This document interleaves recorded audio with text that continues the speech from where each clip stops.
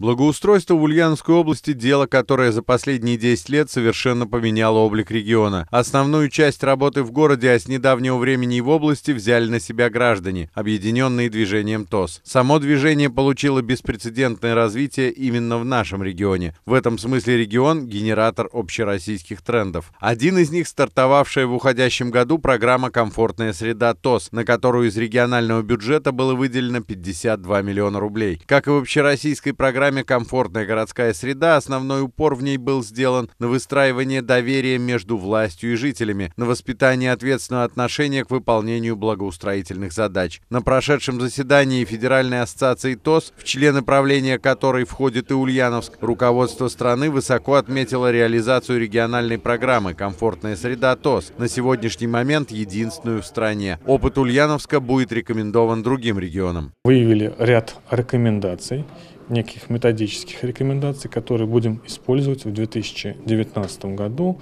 для реализации этого проекта. Шесть пунктов. Я считаю, что это позволит избежать тех ошибок, которые допускали ТОСы, допускали а, представители муниципального образования и региональной власти на этапах реализации данного проекта. В начале года сотни тысяч ульяновцев просто не верили, что такие огромные деньги придут в их поселки, дворы и микрорайоны. Региональная власть не подвела, деньги на счета ТОС пришли. Однако из-за робости отдельных ТОС, побоявшихся проявить твердость в управлении программными деньгами, работы начались позже, а исполнитель не соответствовал народным чаяниям. Когда мы проехали просто от общественной палаты поехали по ТОСам, да, были нарушения по качеству укладки асфальтов.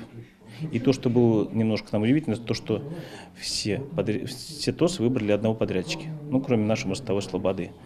А, да, программа еще, ну, возможно, несведомленность, возможно, незнание. Вопрос, потому что действительно люди обрадовались, что если такая программа появилась, она что она действительно появилась, потому что не верили, что такая программа будет.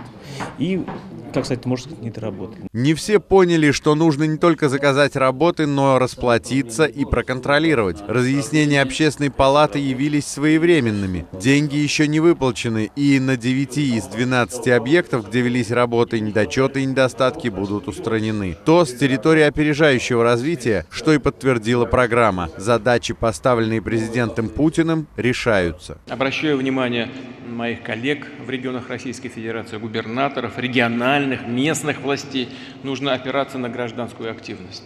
Вместе с общественными палатами создавать благоприятные условия для работы НКО в социальной, да и в других сферах. Нужно понимать людей, доверять им. Тогда можно многое сделать и в маленьком поселке, и в большом городе. Там, где жители искренне болеют за дело, включаются в работу, предлагают конкретные решения проблем – НКО в форме ТОС не подвели. Каждый рубль оказался подотчетным, а благодаря разъяснениям общественной палаты потраченным не зря. Главное, что теперь четко уяснили ТОСы, заказчики работ они, приемщики они, и все гарантийные письма они должны хранить у себя. Лучшими нужно не только стать, но и остаться. Поэтому общественная палата держит реализацию комфортной среды ТОС на контроле. На этой неделе состоится встреча лидеров движения с общественниками. Павел Половов, Юрий Конихин, Новости Ульяновской правды.